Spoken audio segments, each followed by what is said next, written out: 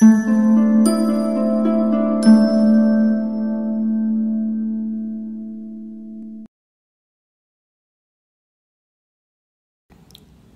and welcome back second sem B A B S C Hindi Kerala university का जो question paper है 2022 उसका एक क्विक एनालिसिस देख लेते हैं। आज आप लोगों ने इसका एग्ज़ाम लिखा और डालते हैं एक नज़र यूनिवर्सिटी क्वेश्चन पेपर पर। वैसे इसका विस्तृत विश्लेषण बाद में किया जाएगा। अभी फ़िलहाल देखते हैं क्वेश्चन पेपर कैसा रहा। हिंदी निबंध और अन्य गद्य विधाएँ कोर्स टाइटल में course code H N one two one one point one part one question में दस क्वेश्चन हैं आपको no choice question number one आधुनिक हिंदी का जन्मदाता कौन है? सेकंड वन कुटच का रचनाकार कौन है? थर्ड वन कलम का सिपाही किस विधा की रचना है? फोर्थ वन परसाई जी के अनुसार, निंदा का उद्गम कहाँ से होता है? फिफ्थ क्वेश्चन सफ़ेद मेमने किसकी रचना है? सिक्स वन सूखे सरोवर का भूगोल किस विधा की रचना है? सेवेंथ वन तिरछी रेखाएँ का रचयिता कौन है? एट्थ क्वेश्चन माटी की मूर्तें किसकी रचना है? नाइन्थ क्वेश्चन सूरदास ने निंदा को किस नाम से संबोधित किया? और टेंथ क्वेश्चन, मेरा हमदम मेरा दोस्त किस विधा की रचना है? तो डालते हैं एक नज़र इसके आंसर्स पर। आधुनिक हिंदी का जन्मदाता भारतेंदु हरिश्चंद्र जी हैं। और ये आप लोगों को शायद डिफ़िकल्ट लगा होगा ये क्वेश्चन क्योंकि ये टेक्स्ट के एकदम पहले दिया गया है, जिस पर अक्सर किसी का नज़र जाता नहीं। भारतेंदु हरिश्चंद्र को आधुनिक हिंदी का जन्मदाता कहा जाता है। बीए हिंदी लिटरेचर वाले छात्र शायद जानते हों, या फिर जिन्होंने पूरे टेक्स्ट को अच्छी तरह से पढ़ा हो, उनके लिए आसान लगेगा, वरना ये एक डिफ़िकल्ट क्वेश्चन की तरफ़ जाएगा। क्वेश्चन नंबर टू कुटज का रचनाकार कौन है? कुटज हजारी प्रसाद द्विवेदी जी की रचना है और देवदारू जिसने लिखा है, देवदारू निबंध जिसने लिखा है, उनकी ही रचना है कुटज। अगेन ऑदर की रचनाओं पर सेकंड क्वेश्चन आया है। वो भी जिसने ऑदर की रचनाओं पर नज़र डाला होगा मेमोराइज किया होगा सेकंड क्वेश्चन भी केवल उन्हीं के लिए आसान रहा होगा। थर्ड क्वेश्चन कलम का सिपाही किस विधा की रचना है? ये एकदम डायरेक्ट क्वेश्चन रहा। कलम का सिपाही किस विधा की रचना है? आप लोग सब जानते हैं। कलम का सिपाही किस विधा की रचना है? आप लोग सब जानते हैं। वो एक जीवनी है। फोर्थ क्वेश्चन परसाई जी के अनुसार निंदा का उद्गम कहाँ से होता है? ये भी एकदम डायरेक्ट क्वेश्चन था। परसाई जी के अनुसार निंदा का उद्भव हीनता और कमज़ोरी से होता है। तो ये चैप्टर के अंदर से ही आया है तो इसे डायरेक्ट ही कहा जाएगा। Again fifth question one indirect one सफ़ेद मेमने किसकी रचना है? अब देखिए, सफ़ेद मेमने किसकी रचना है? मणि मधुकर जी की रचना है, जिन्होंने सूखे सरोवर का भूगोल लिखा। अब ये भी जिन बच्चों ने उसे मेमोराइज किया होगा, केवल उन्हीं के लिए ये आसान दिखेगा। सफ़ेद मेम ने किसकी रचना है? सिक्स क्वेश्चन सूखे सरोवर का भूगोल, किस विधा की रचना है? अगेन अ डायरेक्ट वन सूखे सरोवर का भूगोल एक रिपोर्टाज है, ये आपको अच्छी तरह पता होना चाहिए। सेवेंथ क्वेश्चन तिरछी रेखाएँ का रचयिता कौन है? अगेन ऑदर की जो रचनाएँ पूछी गई हैं, हरिशंकर परसाई जी, व्यंग्य साहित्यकार हरिशंकर परसाई जी की रचना है, तिरछी रेखाएँ। अब ये भी सात ऑदर्स हैं और सातों की इतनी सारी रचनाएँ यहाँ दी गई हैं। सभी को मेमोराइज करना भी मुश्किल है। अब ये बच्चों को परेशानी में डाल दिया होगा। ये फ़र्स्ट पार्ट मुझे तो ऐसे ही लग रहा है। एट्थ क्वेश्चन माटी की मूर्तें किसकी रचना है? माटी की मूर्तें रामऋष बेनीपुरी जी की रचना है। अगेन ऑदर की जो रचनाएँ हैं उसे पूछा गया है। और नाइन्थ वन डायरेक्ट है। सूरदास ने निंदा को किस नाम से संबोधित किया? निंदा सबद रसाल, ऐसा सूरदास जी ने कहा है, ये आपको पता है। टेंथ क्वेश्चन मेरा हमदम, मेरा दोस्त, किस विधा की रचना है? ये भी आसान क्वेश्चन ही रहा। मेरा हमदम, मेरा दोस्त, किस विधा की रचना है? एक संस्मरणात्मक रचना है। ओके। ओके तो ये बात हुई पार्ट वन की। अब चलते हैं पार्ट टू की ओर। आपको केवल आठ प्रश्नों का उत्तर देना है पचास शब्दों में। Eleventh to twenty six question part two है। दैट मीन्स सोलह क्वेश्चन दिए गए हैं। Sixteen questions are given you have to answer only eight तो यहाँ पे फिफ्टी परसेंट चॉइस है। तो इसमें आपको ज़्यादा दिक्कत नहीं हुई होगी।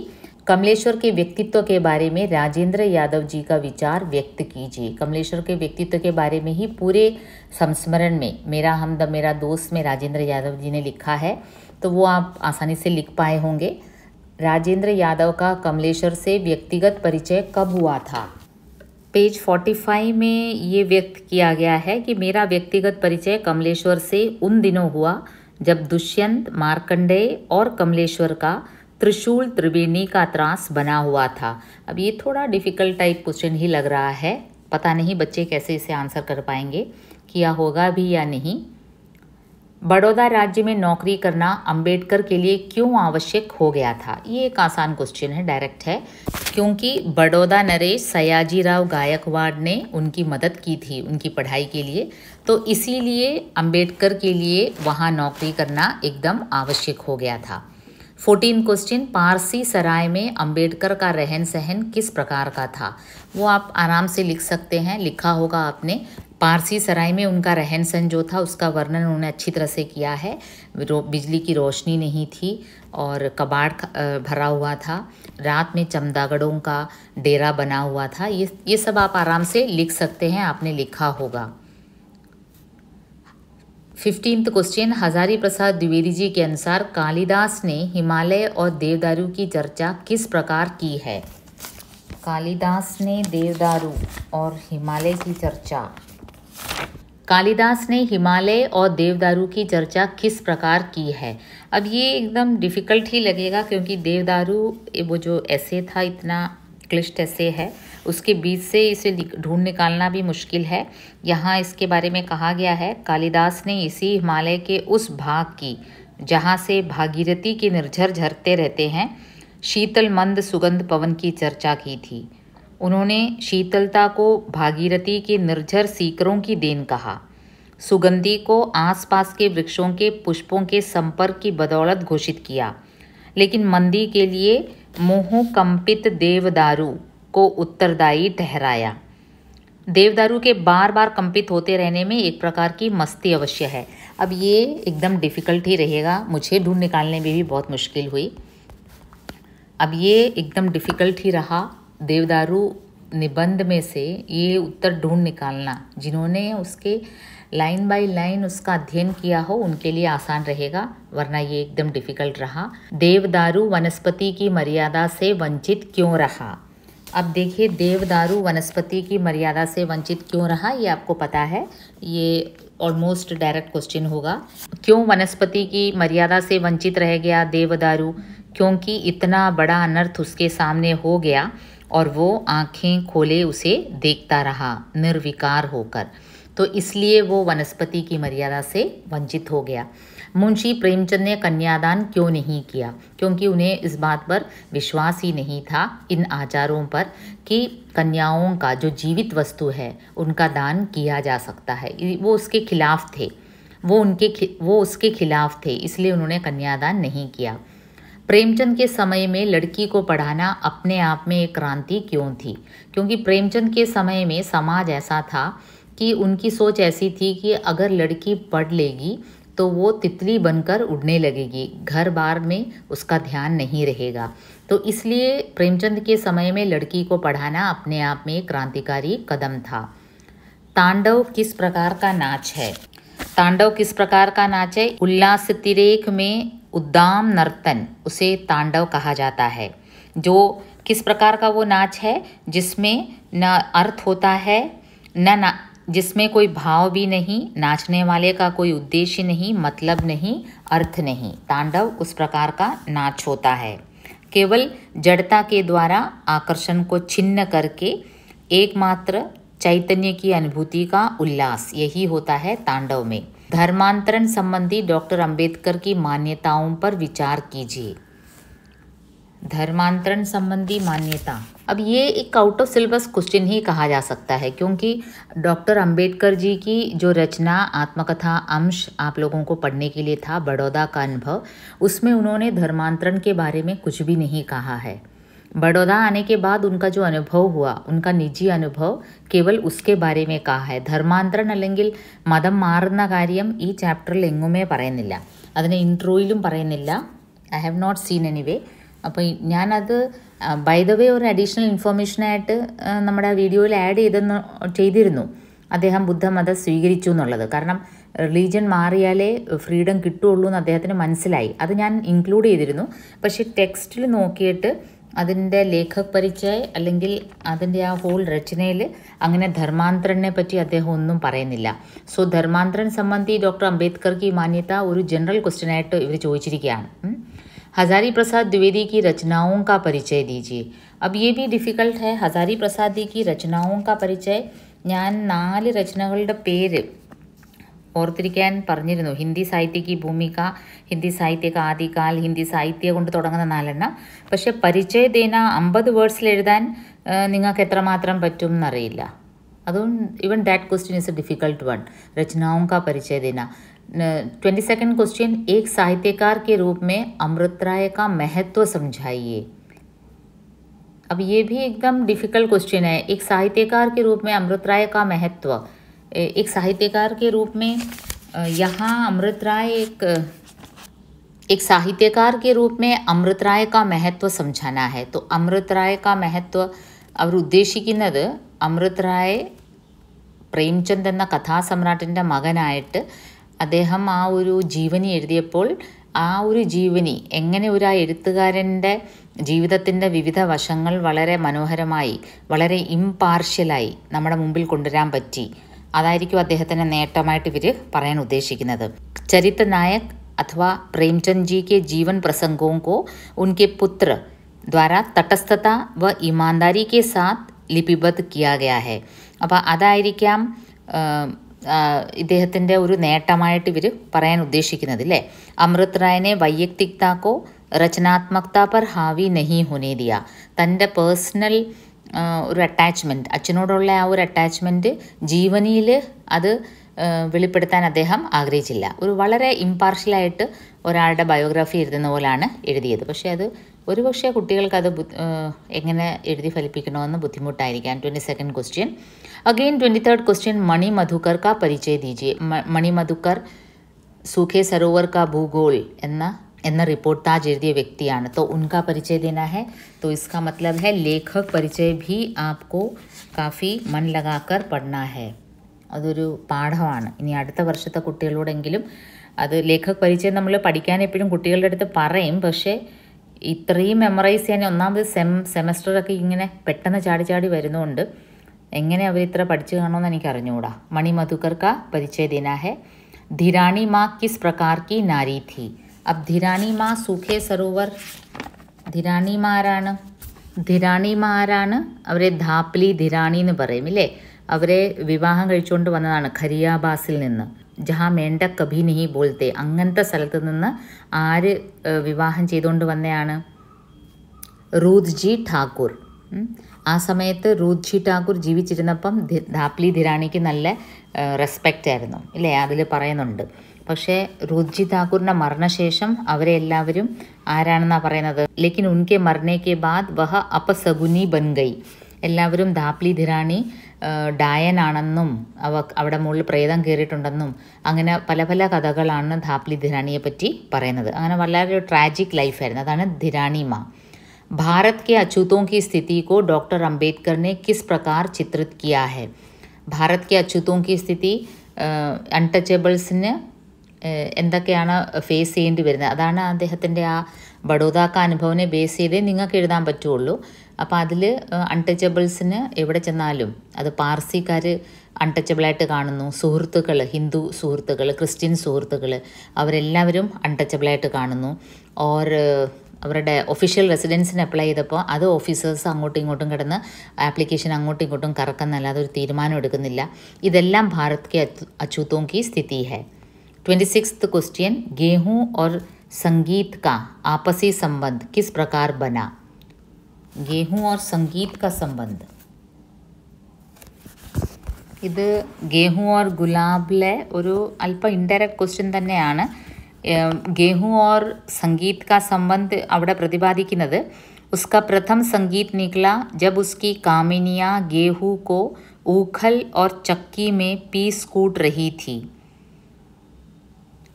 ആ, നെല്ലും ആ, ഗോതമ്പും നെല്ലും എല്ലാം ആ, പൊടിക്കുന്ന സമയത്ത് അവർ പണ്ടിങ്ങനെ മാനുവലായിട്ട് ചെയ്യുമായിരുന്നല്ലോ ഊഖൽ ഓർ ചക്കീമേ ആ സമയത്ത് മാനവ് കാ പ്രഥം സംഗീത് നിക്ല അങ്ങനെ ഗേഹു ഓർ സംഗീത് കാ ആപ്പസി സംബന്ധ് അല്പം ഇൻഡയറക്റ്റ് ക്വസ്റ്റ്യൻ തന്നെയായിരുന്നു അത്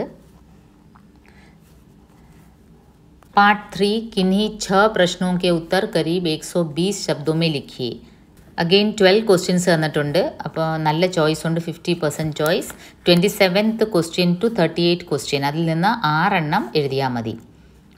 പത്താ നഹി കിസ്നെ ഇസ് പേഡ് കാ നാം ദേവദാരു റഖ് ദിയാ ഥാ. നാം നിശ്ചയ ഹി പുരാണ ഹെ. കാളിദാസ് സെ ഭി പുരാണ. മഹാഭാരത് സെ ഭി പുരാണ. കഥൻ കി വിവേചന കീജിയേ. ഹസാരി പ്രസാദ് ദ്വിവേദി ഈ പേരിനെ പറ്റി പറയുന്ന കാര്യമാണ്. ഈ ദേവദാരുവിന് ഈ പേരെങ്ങനെ കിട്ടി എന്നുള്ളത്. पता नहीं किसने इसका नाम देवदारू रख दिया। नाम निश्चय ही पुराना है। अब इसकी कालिदास से भी पुराना है, महादेव महाभारत से भी पुराना है। अब इस कथन की विवेचना कीजिए। कैसे विवेचना करना है भाई? ऐसे स्टार्ट इन ये सेंटेंस ले, पता नहीं किसने इस पेड़ का नाम देवदारू रख दिया। नाम निश्चय ही पुराना है। ये सब तो ठीक है। लेकिन इसकी विवेचना कैसे करना है? इसके बारे में क्या कह, बच्चे क्या कहेंगे, ये हमें भी नहीं पता। ट्वेंटी एथ क्वेश्चन, मगर देवदारू नाम केवल नाम ही नहीं है। मैंने अपने गाँव के एक महान भूत भगवान ओझा को देवदारू की लकड़ी से भूत भगाते देखा है। भाव समझाइए। हाँ इसका भाव आप समझा सकते हैं कि देवदारू केवल नाम नहीं है। उनके गाँव में हजारी प्रसाद द्विवेदी जी ने बचपन में एक पंडित को देखा था, जो भूत भगाते थे।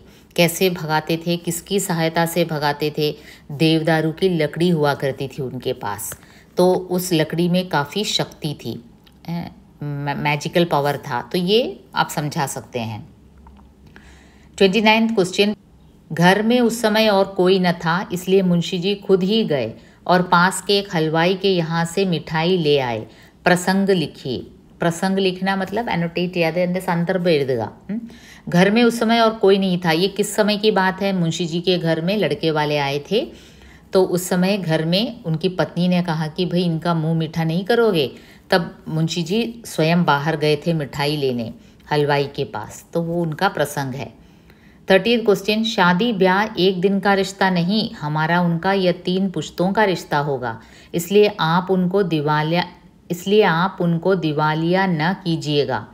कथन की विवेचना की। अब ये किसके वाक्य हैं? वासुदेव जी का वाक्य है। वासुदेव कौन है? मुंशी भवानी प्रसाद जी का बेटा, जिनके साथ प्रेमचंद जी की बेटी की शादी का, करने का निश्चय हुआ था। उन्होंने ये खत लिखा था। और उसकी एक कॉपी प्रेमचंद जी को भी दशरथ लाल ने उसकी एक नकल भेजी थी। तो उसमें लिखा था कि ख्याल रहे कि जिस घर में मेरी शादी हो, वह घर दिवालिया न किया जाए। मतलब कि लड़की वालों से इतना अधिक दहेज भी न मांगा जाए कि उनके पास फिर कुछ रहे ही ना, वो एकदम दिवालिया हो जाए। दिवालिया होना मीन्स എല്ലാം പാപ്പരാകുക പെൺവീട്ടുകാരുടെ കയ്യിൽ നിന്ന് വളരെയധികം ഡൗറി। എടുക്കാനും പാടില്ല ആ, അവരങ്ങ് പാപ്പരാവുന്ന പോലെ അവരെ കാരണം നമ്മൾ ഈ വിവാഹം എന്ന് വെച്ചാൽ എന്താണ് തീൻ പുഷ്തവും കാ റിഷ്ത ഹെ ഒറ്റ ദിവസം കൊണ്ട് തീരുന്ന ഒരു ചടങ്ങ് കൊണ്ട് തീരുന്ന ഒരു കാര്യമല്ല ഇത് വാസുദേവ് എഴുതിയതാണ് व्यंग्य के स्वरूप को समझाइए अब व्यंग्य के स्वरूप को सम व्यंग्य के स्वरूप को समझाने के लिए अगेन आपके टेक्स्ट के स्टार्टिंग में पेज थर्टीन में व्यंग्य की परिभाषा दी गई है और उसी में व्यंग्य की बातें कही गई है व्यंग्य क्या है व्यंग्य किस पर कसा जाता है व्यंग्य और हास्य में क्या अंतर है അവിടെ നിന്നാണ് ആ ക്വസ്റ്റ്യൻ വന്നിരിക്കുന്നത് थर्टी सेकेंड क्वेश्चन गेहूँ हम खाते हैं गुलाब सूंघते हैं एक से शरीर की पुष्टि होती है दूसरे से मानस तृप्त होता है आशय समझाइए आशय एकदम व्यक्त है गेहूँ हम खाते हैं मतलब कि गेहूँ का संबंध भौतिक जगत से है हमारे खाने से है, हमारे शारीरिक हमारी शारीरिक ज़रूरतों से है और गुलाब हमारी सांस्कृतिक जगत का प्रतीक है। गुलाब हम सूंघते हैं। तो गुलाब से, गुलाब किसका प्रतीक है? गुलाब संगीत का, नृत्य का, साहित्य का प्रतीक है। एक से संगीत, साहित्य, इस प्रकार की सांस्कृतिक बातों से मानस तृप्त होता है और गेहूँ से शरीर की पुष्टि होती है। अभिमन्यु की आत्महत्या नामक कहानी की पहली चिंगारी राजेंद्र यादव जी को कैसे मिली? अब राजेंद्र यादव जी ने कमलेश्वर के बारे में कहा था कि मुझे वो अभिमन्यु ज़्यादा लगते हैं। जैसे अभिमन्यु दुस्साहसी था। अभिमन्यु को पता था कि उसकी मौत निश्चित है, लेकिन फिर भी वो युद्ध के लिए कूद पड़ता है। लेकिन फिर भी वो युद्ध में कूद पड़ता है। उसी प्रकार कमलेश्वर भी कई बार लोगों से ठगे ठगे गए, अपने दोस्तों से ही ठगे गए, लेकिन फिर भी वो अभिमन्यु की तरह लड़ाई करते हैं लेकिन फिर भी वो अभिमन्यु की तरह संघर्ष करते हैं। तो वो देखकर उनके दोस्त राजेंद्र यादव जी को लगा कि अभिमन्यु की तरह है कमलेश्वर और वहीं से अभिमन्यु की आत्महत्या नामक कहानी लिखने की प्रेरणा उन्हें मिली। थर्टी फोर्थ क्वेश्चन, हर झूठा और पढ़ा लिखा आदमी कहानीकार नहीं हो सकता, वरना आज सारे के सारे प्रयागवासी, कवि, आलोचक, कहानीकार हो गए होते। आशय समझाइए। ये राजेंद्र यादव जी कह रहे हैं कि, देखिए, कमलेश्वर काफ़ी झूठ बोलता है, लेकिन फिर भी जब वो झूठ बोलते हैं तो जब वो साहित्य में झूठ बोलते हैं तो बहुत अच्छी कहानी बन जाती है। लेकिन और जब वो जीवन में झूठ बोलते हैं तो सुनते रहने का मन करता है ഇല്ലേ കമലേശ്വറിനെ പറ്റി പറയുന്നുണ്ട് കാണാത്തൊരു സിനിമയെ പറ്റി കാണാത്തൊരു ബുക്കിനെ പറ്റി എത്ര നേരം വേണേലും ഇങ്ങനെ തള്ളിക്കൊണ്ടിരിക്കും കമലേശ്വർ നമുക്ക് കേട്ടുകൊണ്ടിരിക്കാൻ തോന്നും പക്ഷേ അങ്ങനെ ചെയ്യുന്ന എല്ലാവരും ഒരു നല്ല കഹാനിക്കാരാവില്ല ഹർ ജൂഠ और പടാ ലിഖ ആദ്മി കഹാനിക്കാർ നഹി ഹോ സക്ത അല്ലെങ്കിൽ എൻ്റെ നാട്ടുകാർ പ്രയാഗിലെ ആൾക്കാരെല്ലാം തള്ളുന്നവരാണ് എല്ലാം കള്ളം പറയുന്ന ആൾക്കാരാണ് പക്ഷേ അവരാരും നല്ല കവിയും ആലോചക്കും കഹാനിക്കാരും ഒന്നും ആയില്ലല്ലോ അത് രാജേന്ദ്ര യാദവിൻ്റെ അഭിപ്രായമാണ് थर्टी फिफ्थ क्वेश्चन गेहूं बनाम गुलाब शीर्षक की प्रतीकात्मकता पर विचार कीजिए അത് നേരത്തെ പറഞ്ഞ പോലെ തന്നെ ഗേഹു ബനാം ഗുലാബ് ഗേഹു വർസസ് ഗുലാബ് ഗേഹു വേണോ ഗുലാബ് വേണോ ഗേഹു നമ്മുടെ ഗേഹു നമ്മുടെ ഫിസിക്കൽ നീഡ്സാണ് നമ്മുടെ ശാരീരിക ആവശ്യങ്ങളാണ്. ഭക്ഷണം എപ്പോഴും ഭക്ഷണത്തിനെ പറ്റി ചിന്തിച്ചുകൊണ്ടിരിക്കുക സുഖ സൗകര്യങ്ങളെ പറ്റി ചിന്തിച്ചുകൊണ്ടിരിക്കുക. ഗുലാബ് ഹമാരി സംസ്കൃതി കാ പ്രതീക് ഹെ സാഹിത്യ കാ പ്രതീക് ഹെ സംഗീത് കാ പ്രതീക്. ഹെ അപ്പോൾ അതാണ് അതിന്റെ ഇപ്പോൾ ശീർഷക് കി പ്രതീകാത്മകത പർ പ്രകാശ് ഡാലി എന്ന് വെച്ചാൽ ആ ടൈറ്റിൽ രാമകൃഷ്ണ ബിനിപുരി ഒരു ഉദ്ദേശം കൊണ്ടാണ് ചോദിച്ചത്. നമ്മൾക്ക് എപ്പോഴും ഭക്ഷണത്തെപ്പറ്റി മാത്രം മനുഷ്യൻ ചിന്തിക്കണോ? അതോ മാനസിക് വികാസ് വേണോ മനുഷ്യന്? ഈ ഭോജൻ മാത്രം ചിന്തിച്ചുകൊണ്ടിരുന്നാൽ മൃഗങ്ങളെ പോലെ ആവില്ലേ കുറച്ചുകൂടെ ഉന്നത തലങ്ങളിൽ മനുഷ്യൻ ചിന്തിക്കണ്ടേ അതാണ് ഗേഹു ബനാം ഗുലാബ് ललित निबंध के स्वरूप का परिचय दीजिए ललित निबंध के बारे में अगेन आपके टेक्स्ट के एकदम फ्रंट में दिया गया है ललित निबंध क्या है ललित शब्द का प्रयोग सुंदर मनोहर लावण्यमय और सुहावना आदि के लिए किया जाता है और निबंधकार जब बिना किसी पूर्व योजना के किसी भी बात को उठा लेता है और धीरे धीरे बात में बात बन जाती है तो वो ललित निबंध कहलाता है। एक साधारण विषय भी, एक साधारण विषय भी लेखक के व्यक्तित्व का अद्भुत स्पर्श पाकर एक ललित निबंध में निखर उठता है। भाषा का लावण्य और शैली की रोचकता ललित निबंधों के मुख्य लक्षण माने जाते हैं। और लेखक के सृजनशील व्यक्तित्व की छाप भी पूरे निबंध में लक्षित होती है अदान ललित निबंध ഗദ്യ കെ വിവിധ രൂപവും കാ പരിചയ ദീതി ഓൾ ടുഗെദർ ഈ ഫ്രണ്ടിൽ കൊടുത്തിരിക്കുന്ന എല്ലാ കാര്യങ്ങളും ഒരുമിച്ച് അങ്ങ് ചോദിച്ചിരിക്കുകയാണ് ഗദ്യക്ക് വിവിധ രൂപ ഏതൊക്കെയാണ് അപ്പം അപ്പം നിങ്ങൾ സംസ്മരൺ റിപ്പോ താജ് ലളിത് നിബന്ധ് രേഖാചിത്ര ജീവനി ആത്മകഥ ഇതിനെപ്പറ്റിയെല്ലാം ഷോർട്ടായിട്ട് എഴുതണം कैसे क्या मैं गले मिला क्या मुझे उसने समेट कर कलेजे से लगा लिया हरगिज नहीं आशय समझाइए। हरिशंकर परसाई जी, क नामक एक व्यक्ति के बारे में कहते हैं, जो आते ही काफ़ी अभिनय करता है। मानो हमसे बहुत प्यार करता हो, लेकिन आते ही दूसरों की निंदा करने लगता है। और पिछले दिन वो बैठकर मेरी भी निंदा कर रहा था तो इसलिए मैं क से गले नहीं मिला। और मैं गले मिला, लेकिन मैं अपना मन को, मैंने अपने मन को अपने शरीर से हटा दिया। और केवल मेरा शरीर ही उससे गले मिला। क्या मुझे उसने समेट कर कलेजे से लगा लिया हरगिज नहीं मैं मेरा मन वहाँ था ही नहीं मैं मानसिक रूप से क से काफ़ी ദുരാവ് പ്രഥ എനിക്ക് കയിനോട് ഒരു താല്പര്യവും ഇല്ലായിരുന്നു കയുടെ സ്വഭാവം എനിക്ക് നല്ലപോലെ അറിയാമായിരുന്നു ഇസ്ലിയെ മെ ക സെ मन से गले नहीं मिला सो लास्ट पार्ट किन्हीं दो प्रश्नों के उत्तर 250 शब्दों में लिखिए you have to write any two essay देवदारू की विशेषताओं को समझाइए देवदारू ചോദിച്ചു എസ്സേ ആയിട്ട് बेटी का विवाह जीवनी पर विचार कीजिए बड़ौदा का अनुभव पर प्रकाश डालिए निंदा रस में अभिव्यक्ति व्यंग्य का परिचय दीजिए सूखे सरोवर का भूगोल रिपोर्टाज का परिचय दीजिए गेहूं बनाम गुलाब का सारांश लिखिए essay part was okay like three four essay part was okay six questions തന്നിട്ട് അതിൽ രണ്ടെണ്ണം എഴുതിയാൽ മതി. അപ്പോൾ നിങ്ങൾക്ക് കംഫർട്ടബിൾ ആയിട്ടുള്ള രണ്ടെണ്ണത്തിനെ പറ്റി വിശാലമായിട്ട് എസ് എ എഴുതാം. പാർട്ട് വൺ കമ്പാരിറ്റീവ്ലി നിങ്ങളെ കുഴപ്പിച്ച് കാണുമെന്ന് ഞാൻ പ്രതീക്ഷിക്കുന്നു. നിങ്ങൾ കമന്റ് നിങ്ങൾ കമന്റ് ബോക്സിൽ ഇടുക. നിങ്ങൾക്ക് എങ്ങനെയായിരുന്നു exam part one actually one മാർക്കേ hold ചെയ്യുന്നുള്ളൂ. ഒരു ക്വസ്റ്റ്യന് വൺ മാർക്കാണ് അപ്പം മൂന്നാലെണ്ണം നിങ്ങൾക്ക് ബുദ്ധിമുട്ടാണെങ്കിൽ മൂന്നാൽ മാർക്കേ പോവുള്ളൂ പക്ഷേ നമ്മുടെ മൂടങ്ങ് കളയും. ഒരു എക്സാം എഴുതാനിരിക്കുമ്പം ആദ്യത്തെ ക്വസ്റ്റ്യൻ തന്നെ ഇങ്ങനെ ടഫ് വരുമ്പോൾ നമ്മുടെ ഒരു സൈക്കോളജിക്കൽ ഒരു അപ്രോച്ച് അങ്ങ് ഡം ഡിമ്മാവും പക്ഷേ വിഷമിക്കാനില്ല ഇത് വൺ മാർക്ക് ക്വസ്റ്റ്യനാണ് ബാക്കി ടു മാർക്ക് ക്വസ്റ്റിനും ഫോർ മാർക്ക് ക്വസ്റ്റിനും എസ് എ ക്വസ്റ്റിനും ഒക്കെ നിങ്ങൾ ഇഷ്ടംപോലെ ചോയ്സ് ഉള്ളതുകൊണ്ട് നിങ്ങൾ എഴുതി കാണുമെന്ന് പ്രതീക്ഷിക്കുന്നു. So you please comment how your exams were എങ്ങനെയായിരുന്നു? നിങ്ങൾക്ക് സ്റ്റുഡന്റ് എന്ന നിലയ്ക്ക് എങ്ങനെ ഫീൽ ചെയ്തു? അത് വളരെ ഇമ്പോർട്ടന്റ് ആണ്. കാരണം ടീച്ചേഴ്സ് എന്ന നിലയ്ക്ക് ഈ ഒരു മാധ്യമത്തിലൂടെ ഞങ്ങൾക്ക് അറിയാൻ പറ്റും. നിങ്ങൾക്ക് ആസ് സച്ച് ഈ ക്വസ്റ്റ്യൻ എങ്ങനെ ഫീൽ ചെയ്തു.